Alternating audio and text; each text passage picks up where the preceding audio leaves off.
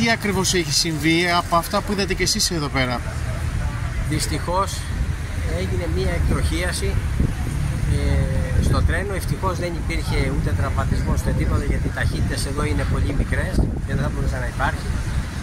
Αλλά η εκτροχίαση αυτή είναι αποτέλεσμα της πολιτικής όλων των τελευταίων ετών που κατακαιρμάτισαν το σιδηρόδρομο, αποψήλωσαν από προσωπικό τον ΟΣΕ δίνοντας τα πάντα σε εργολάβους αποτέλεσμα αυτής της πολιτικής είναι αυτό που βλέπουμε σήμερα είναι αυτό που βλέπουμε στον άξονα Αθήνα-Θεσσαλονίκη μετά τις πλημμύρες που δεν υπάρχει τρένα είναι αυτό που συμβαίνει στον Οδοτοτό στο διακοπτό Καλάβρικα που με την πρώτη βροχή κλείνει η γραμμή και δηλώνω κατηγορηματικά ότι δεν μπορεί να λειτουργήσει σιδηρόδρομος χωρίς σιδηροδρομικούς.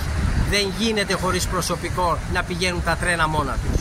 Πόσα άτομα καλούνται να εξυπηρετήσουν τις εδώ γραμμές και γιατί μήκος γραμμών μιλάμε; Οι εδώ γραμμές που είναι 35 χιλιόμετρα το πύργο Ολύμπια Κατάκολο, άλλα 30 χιλιόμετρα και κάτι ε, από την Αχαδιά μέχρι το Ρίο και άλλα 35 χιλιόμετρα το διακοφτό Καλάβρητα είμαστε συνολικά 8 άτομα. Ένα στον πύργο, τρεις στο διακοφτό και 4-5 άτομα εδώ. Αυτοί είμαστε όλοι όλοι. Δεν επαρκεί το προσωπικό αυτό. Εργολαβία δεν υπάρχει. Ε, το προσωπικό είναι όλο γερασμένο. Σε ένα-δύο χρόνια φεύγουμε όλοι με σύνταξη. Σε έξι μήνες, ένα χρόνο φεύγω εγώ και ακολουθούν και όλοι οι υπόλοιποι συνάδελφοί μου. Δηλαδή σε δύο χρόνια δεν θα υπάρχει κανένας. Και τάζουν ότι θα πάει το τρένο στον πύργο, η μετρική γραμμή, τάζουν, ε, ακούμε κατά καιρούς ε, να λένε διάφορα πράγματα και εδώ δεν υπάρχει προσωπικό να συντηρήσουμε αυτό εδώ.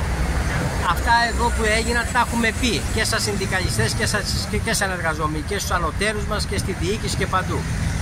Δυστυχώς δεν εισακουστήκαμε, δεν εισακουστήκαμε ούτε καν να μας φέρουν κάποιους εργαζόμενους ειδικά μετά τα τέμπη που το υποσχέθηκαν οι οποίοι θα αρχώσατε με μπλοκάκια απόδειξης παροχής υπηρεσιών αυτή την κατάπτυστη σύμβαση εργασίας για εργαζόμενους. Δυστυχώς με αυτές τις μορφές που έχουν κάνει είναι ότι πιο κατάπτυστο ούτε αυτό δεν κάνουν για να μπορέσουμε να συντηρήσουμε τη γραμμή να περνάει το τρένο με ασφάλεια.